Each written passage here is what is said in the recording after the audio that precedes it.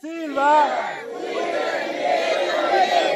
Reforestando con amor y cariño. La onda de Nicole. Para cumplir el segundo reto, primero hemos, no sé, los profesores se han reunido y se han puesto de acuerdo. Y a nosotros nos dijeron que vamos a traer mantas, sombreros, guantes y otras cosas más. Y ahí también nos dijeron para hacer nuestras vinchas cada alumno.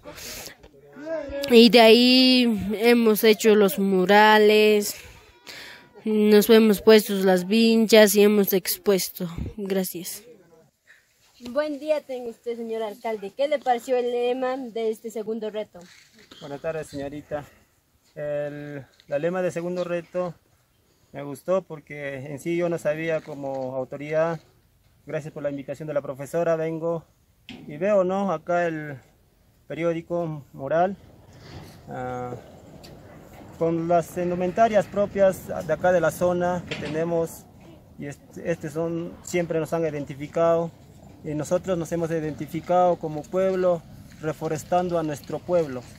Pues nuestro pueblo, pues desde pequeño que yo he sido, pues nuestro, acá Silva siempre ha sido reforestado. ¿Cómo, ¿Cómo se sintió al realizar este reto?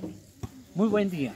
Para mí es un excelente reto y a la vez también una gran experiencia en la cual nosotros como docentes damos a conocer lo importante que es nuestro medio ambiente y en la cual nosotros tenemos que preservar tanto en nuestra comunidad como también en las familias, como también a ustedes como son estudiantes. Muchas gracias, La onda de mi cole.